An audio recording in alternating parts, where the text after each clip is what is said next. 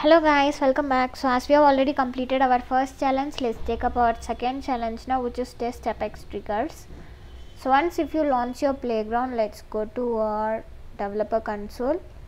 By clicking on this gear icon followed by developer console so that you will get this page. So here we are just going to click on file followed by new followed by apex trigger. So now if you come back to our challenge by scrolling down you will find this apex trigger name. Just copy this and paste it right over here in name box. So once if it is done for object we are just going to give contact. So which is right over here. So once if it is chosen click on submit and guys now we are just going to click on this copy from github link. If you click on it you will find the code right over here. Just copy this code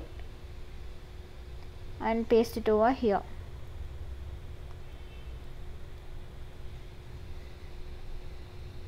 And now it's time to create our test class. For that click on file followed by new followed by apex class. Let's copy this name which is given right over here. And just paste it over here followed by ok.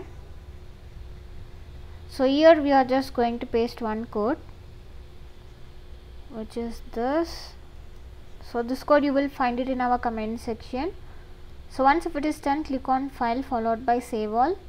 Now click on test followed by run all so that's all about this challenge. Let's go back and click on check challenge.